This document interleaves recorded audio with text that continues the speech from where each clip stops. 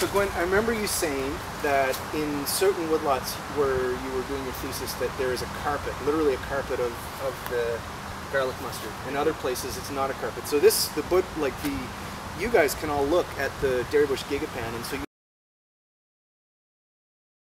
know that it's not a carpet in here and it's a real signature of where, so where do you see it in this forest? So in this forest, essentially the most of it that I found in here. Is just this essentially one spot right near the very edge where that meadow over there is, and right next to this path.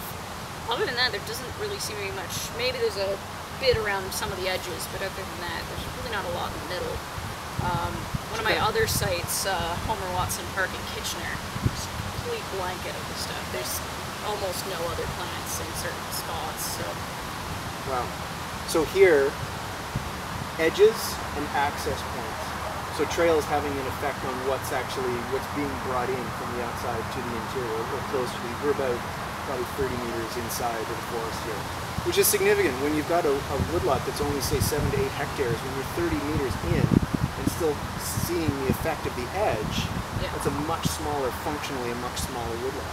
Mm-hmm. Yeah, and a big part of that, like it being here on the path is, like I mentioned, that even like I'm researching this stuff and I was finding it all in my my boots, my pants, socks, that kind of thing. You get it caked in between the, the treads of your soles.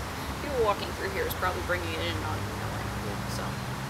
So are there any? Is there anything that eat it? Like, are there beetles that eat it, or is there? Is there? Does anyone browse on it? There's uh, some recent research uh, postdoc in my lab is working on um, that there's a specific moth that they're thinking is eating it at this point. But other than moth? that, is it like a Canadian moth or is it something from its native range? I think it is a native moth. Cool. But I could be wrong on that, and I cool. have to read it again. Uh, but that's pretty much the only literature that's been looked at as to what's eating it.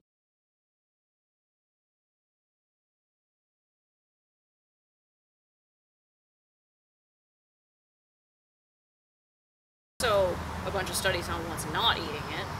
Um, so the big, there was a big research project looking at uh, Rondeau Provincial Park for a while, and if anybody who knows Rondeau is they've got a huge deer problem, first of all.